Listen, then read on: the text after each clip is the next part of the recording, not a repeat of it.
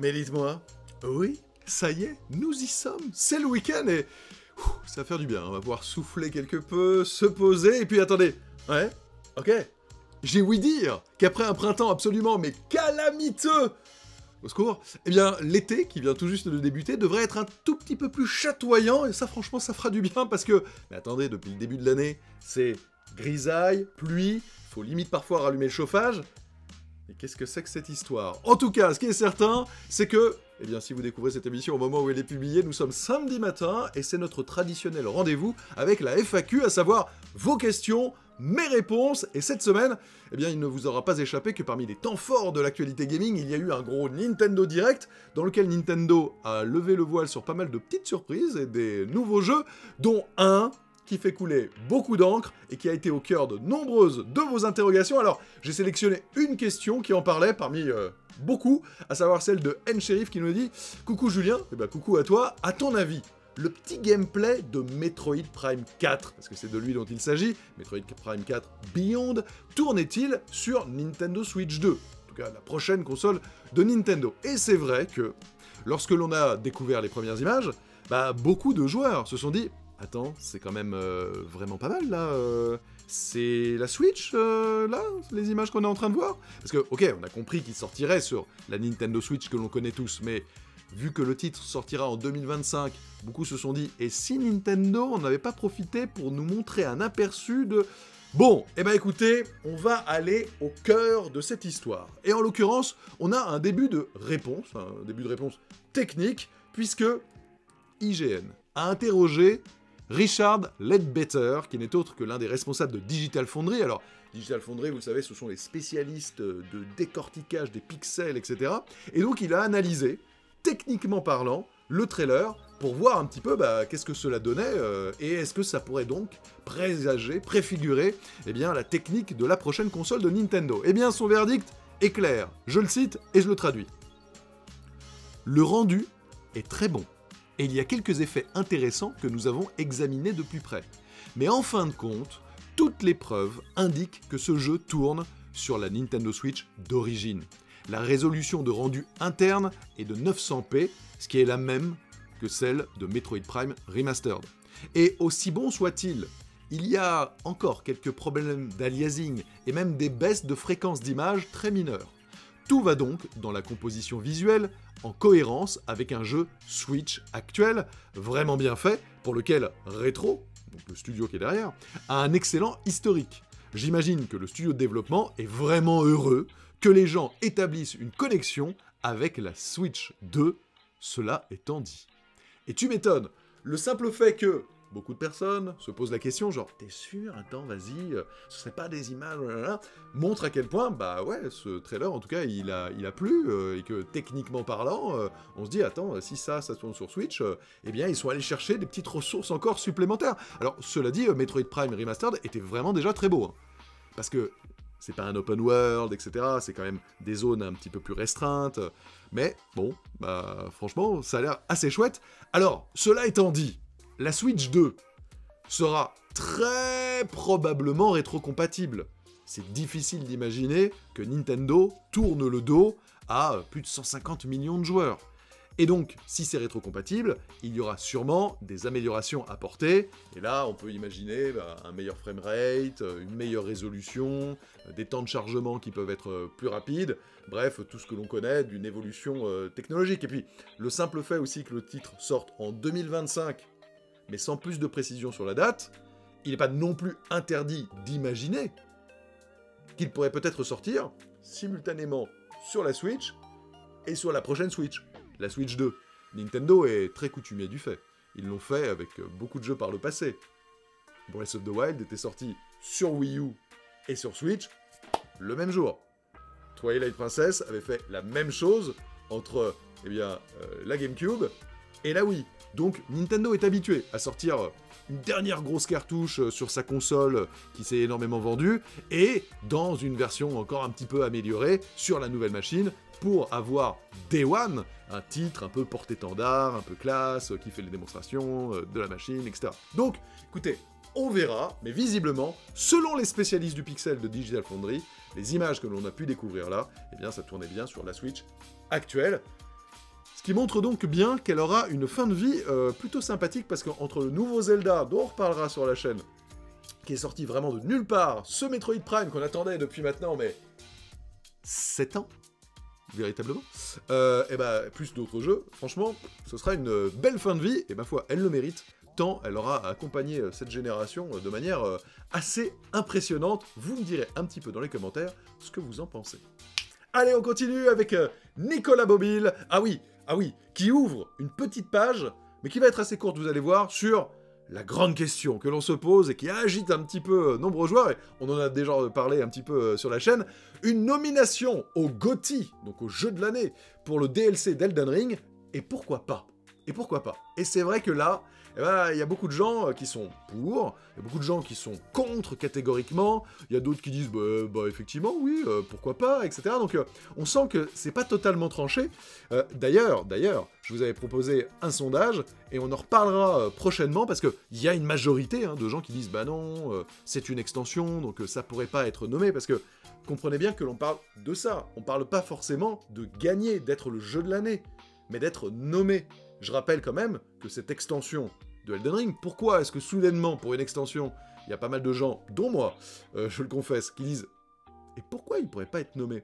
C'est tout simplement parce qu'elle est exceptionnelle et que actuellement c'est la meilleure note métacritique de l'année. Ce qui n'était pas le cas, et ce qui n'a jamais été le cas par le passé pour des extensions. Aussi bonne soit l'extension récente de Cyberpunk 2077, que j'ai mais adoré, elle était 15e note métacritique de l'année. Ça n'a rien à voir, la 15e place versus la première place. Donc, c'est un sujet qui me paraît pas si inintéressant que ça, même euh, philosophiquement, etc. Et donc, bah, il est possible que prochainement, on s'en fasse un petit club JV, euh, qu'on discute un petit peu de tout cela avec euh, plusieurs invités qui pourront avoir, justement, des avis différents, peut-être complètement à l'opposé d'ailleurs, et c'est en cela que ce sera riche et intéressant de se questionner sur ce sujet. Donc, comme vous avez été nombreux, très nombreux, hein, à poser la question comme euh, Nicolas, eh ben, je garde ça dans un coin de ma tête. D'ailleurs, on continue un peu dans cette thématique avec Sébastien qui dit Tu trouves pas qu'il y a trop de Souls-like? Et ça encore, c'est quelque chose que je vois ressortir de plus en plus souvent. Et c'est vrai que donc, là, on a la sortie de Shadow of the Earth Tree, l'extension de Elden Ring, mais c'est vrai que ces derniers mois, on a eu euh, plusieurs titres. Il y a eu euh, bah, celui-ci, Lies of P, qui à mon sens est l'un des meilleurs Souls-like euh, qui est sorti dernièrement. Il y a eu aussi euh, Lords of the Fallen. Il y en vérité, il y en a eu plein, et on a bien constaté avec la Summer Game Fest, etc., que c'était loin d'être fini. Et là, je vais vous dire un truc. Clairement, on peut maintenant dire qu'il y a une tendance de fond. Évidemment, un nouveau jeu vidéo, ça prend des années à être créé. Et donc, quand From Software a commencé à véritablement cartonner, des studios se sont dit, mais attends, ce serait pas mal de faire notre vision de ce style de jeu, et le temps qu'ils arrivent, il y, a du- délai, quoi. 3, 4, 5 ans. Et on arrive maintenant vraiment dans cette phase où bah, ces jeux qui étaient en préparation sortent les uns après les autres. Et on peut se dire que c'était c'est un peu comme, rappelez-vous, il y a eu une période, il y avait un milliard de jeux de zombies, on n'en pouvait plus, quoi. Résultat, ça a un petit peu dégoûté les gens, quoi. Et je trouve que quand il y en a trop, et ben, à un moment, il y a un reflux, sauf pour les excellents, pour euh, les meilleurs. Et bah, je pense que on est loin d'avoir fait le tour des Souls-like qui vont débarquer. Franchement. Mais je pense qu'au bout d'un moment, effectivement, quand il y en a trop, bah, ça lassera les gens. Parce que moi, je trouve que la formule, elle est top, mais il n'y a pas tant de jeux qui arrivent à la même excellence que From Software, on va, dire un peu les termes. Lord of the Fallen, par exemple, c'est très joli, mais je trouve que c'est pas au même niveau qu'un FromSo, quoi. Très sincèrement. Euh, From Software garde la mainmise sur le genre que fondamentalement ils ont créé. On parlait de Doom-like, maintenant on parle de, Souls-like, etc. Donc euh, c'est c'est assez impressionnant hein, quand même ce qu'ils ont euh, réussi à faire par l'excellence de leur gameplay, de leur jeu et du level design, de l'immersion. Moi c'est en vérité ça qui me plaît le plus dans leur titre. Donc je pense qu'on est loin, loin d'avoir fini de voir beaucoup de Souls-like débarquer, mais si leur qualité est excellente, ça continuera. Si c'est assez variable, parce qu'il y en a qui le font que par opportunisme, bah, ça lassera aussi un petit peu et ça se déballonnera. Et donc, comme toute tendance, c'est hype à un moment, pendant quelques années, puis à un moment, il y a un reflux, et il y aura une nouvelle tendance qui prendra le dessus. Bref, c'est le cycle de la vie, et je n'aurai qu'une chose à vous dire, c'est toujours pareil. Si vous n'aimez pas quelque chose, plus que dans les forums, sur les réseaux sociaux, etc., dire c'est nul, machin, j'aime pas et compagnie, ce, qui n'est pas du tout euh, le message de notre ami là, hein, mais c'est dans l'absolu, bah, le meilleur moyen qu'il y en ait moins, c'est de ne pas les acheter. Et le meilleur moyen qu'il y en ait plus, c'est d'acheter ce jeu. Donc s'il y en a beaucoup, c'est aussi que ça marche. C'est comme les remakes. Hein. Si ça marche pas, ou si ça marche moins bien, il y en aura moins. C'est aussi simple que ça, même si évidemment il y a une inertie. Mais puisque on en parle, Lies of P, si vous l'avez pas encore fait et que vous aimez bien le genre, n'hésitez pas à y aller parce que franchement, lui, il est vraiment très bon. Mais merci en tout cas pour ta question, Sébastien. C'est elle Hello Julien, Summer Game Fest et Gamescom sans PlayStation, un boulevard de communication pour Xbox. Alors, Question intéressante, et là aussi qui est pas mal revenue. Euh, moi, je la prendrais quand même un petit peu euh, en, tournant la chose, parce que c'est elle, quand tu dis PlayStation absent de la Summer Game Fest et de la Gamescom, alors pour la Gamescom, ils ne seront pas présents sur le salon, mais la Summer Game Fest, PlayStation était présent. Il y a eu un State of Play juste avant, et qui a été considéré par Jeff Keighley euh, dans la période de la Summer Game Fest, il était même dans le planning des conférences. Euh, et ensuite, bah, pendant l'événement de la Summer Game Fest, je crois même que ça a été la première annonce, eh bien on a eu Lego Horizon Adventures. Alors, j'entends néanmoins ce que tu dis, parce que c'est clair que Xbox a eu une présence plus euh, intéressante lors de la Summer Game Fest. Le Xbox Game Showcase a été, à mes yeux, hein, la meilleure conférence de toute cette période-là. Et donc, on a appris que ni Nintendo ni PlayStation ne seraient présents physiquement à la Gamescom, mais puisque ta question elle est spécifiquement sur PlayStation, rien n'interdit de penser que PlayStation ait une prise de parole, que ce soit via des petits posts, euh, une annonce, euh, à l'événement peut-être même de Jeff Keighley, l'Opening Night Live, etc. C'est pas parce qu'il n'y a pas de stand qu'il n'y a pas de présence. Aujourd'hui, on a vu que la communication, elle peut se faire extrêmement rapidement, de manière beaucoup plus fluide qu'avant, en réalité, par les réseaux et par les différentes euh, eh bien, euh, cérémonies qu'il peut y avoir. Donc, on verra bien. Moi, à titre personnel, je suis intimement persuadé qu'on va avoir un gros temps de communication d'ici la fin de l'année de la part de PlayStation. Probablement pour lever le voile sur la PS5 Pro. Et si la PS5 Pro est dévoilée, il va bien falloir quand même lui adosser des gros jeux qui vont faire comprendre aux joueurs, à nous, pourquoi est-ce que je devrais upgrade parce que pour l'instant, quand même, euh, t'as pas l'impression que la PS5 elle soit non plus tirée à, fond de patate. Tu vois ce que je veux dire? Donc, peut-être qu'ils seront pas à la Gamescom, mais peut-être qu'ils y seront indirectement ou un peu après, en septembre ou en octobre. Cela étant, pour revenir vraiment, mais c'est clair que Xbox a ultra bien utilisé la période de la Summer Game Fest. On a pu le voir, et au sein même de la communauté, que ça a été la conférence qui a été le plus appréciée, dans des volumes extrêmement élevés. Que donc, bah, il y a eu un affect supplémentaire, et que s'ils continuent sur cette euh, lancée à la Gamescom, bah, ils vont continuer à marquer des points. Et vous savez quoi C'est très bien, parce que ça permet de densifier encore la concurrence. Et donc PlayStation, si par exemple ils sont pas à la Gamescom, et que Xbox fait encore un temps de communication qui est intéressant, qui est important, définitivement, ils devront envoyer du lourd un peu après. C'est ce que Sony aime bien faire. Généralement, c'est un peu après. Donc peut-être en septembre, peut-être en octobre. Peut-être pas, on verra. Mais donc, à suivre. Maintenant, ce qui est sûr, c'est que les plans pour 2024, euh, même s'il nous manque des dates d'ici de là, sont assez clairs sur les jeux qu'on va avoir. Mais je pense que PlayStation pourrait, en fin d'année, donc, ouvrir un peu le scope pour l'année prochaine, 2025. On verra bien. À suivre. Mais c'est intéressant. Et en tout cas, oui, après un début d'année compliqué pour Xbox, en termes de communication, et devant tout si euh, cela étant, et bien là, ils ont eu un super temps de communication. Franchement, en tant que joueur, réjouissons-nous, parce que c'est jamais une bonne chose de voir un constructeur, éditeur, appelez ça comme vous voulez, euh, qui est dans une passe un, petit peu difficile. Parce que commercialement parlant, je peux vous assurer que pour avoir vu des chiffres, les ventes de consoles Xbox en France, c'est vraiment très mauvais. Et les ventes de jeux en physique et numérique, c'est pas ouf du tout. Donc euh, il faut absolument que le Game Pass booste un peu. Avec ce qu'ils ont montré, normalement ça devrait être le cas. Mais c'est toujours pareil. Ça devrait. Ah là maintenant c'est la bonne. Il n'y a plus qu'à. Il faut concrétiser totalement dans les données. Et ça, d'ici la fin d'année, on sera fixé. Merci pour ta question en tout cas. Adrien, est-ce que ça vaut encore le coup d'offrir une PS5 à mon fils pour Noël ou j'attends la 6 Ah bah alors Adrien, très sincèrement, pour moi, tu as déjà la réponse en toi-même. Parce que si tu n'as pas encore craqué pour la PS5, qui est sortie il y a déjà 4 ans, et je me permets d'ouvrir la question, là on parle de la PS5, mais ce que je vais dire, ça marche pareil pour la Xbox Series. C'est que tu dois pas être un joueur au taquet des, sorties euh, au moment où, dès que le jeu sort, il faut l'avoir, etc. Tu as déjà attendu 4 ans. Donc, si tu prends une PS5 maintenant, vu qu'elle a encore au moins 4 ans, 5 ans de vie devant elle, peut-être qu'entre-temps, il y aura une nouvelle console qui arrivera, mais elle continuera à avoir des jeux, tu le vois, le cross-platform maintenant, euh, euh, enfin le cross-génération, le cross-gen, il est extrêmement, voire même peut-être trop long.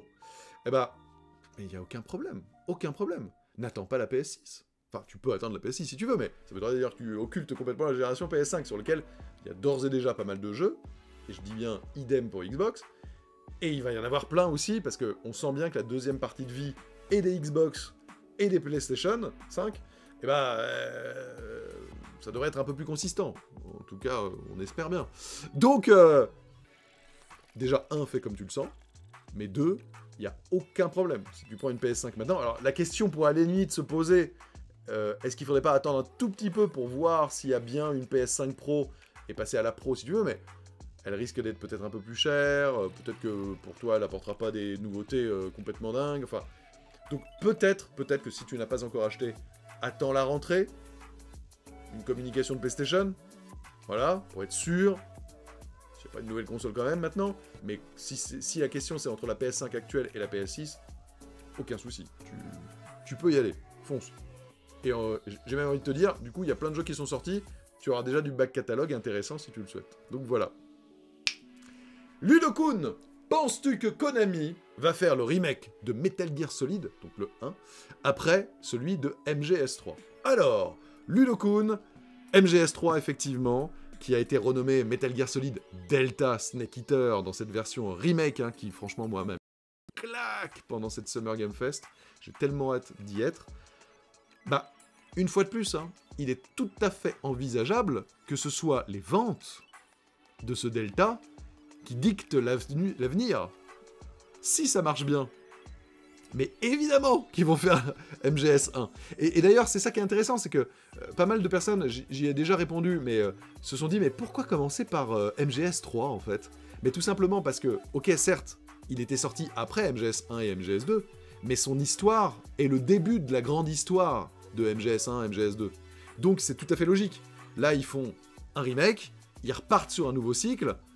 Moi, je suis intimement persuadé que, et ça a d'ailleurs peut-être déjà commencé en parallèle, hein, mais que eux, dans leur tête et dans leur ambition, c'est de remaker toute la saga, et eh bah tu commences par Delta, comme ça t'as le début de l'histoire, ensuite tu passes à MGS1, ensuite tu passes à MGS3, et puis voilà, let's go, MGS4, MGS5, et puis c'est parti quoi.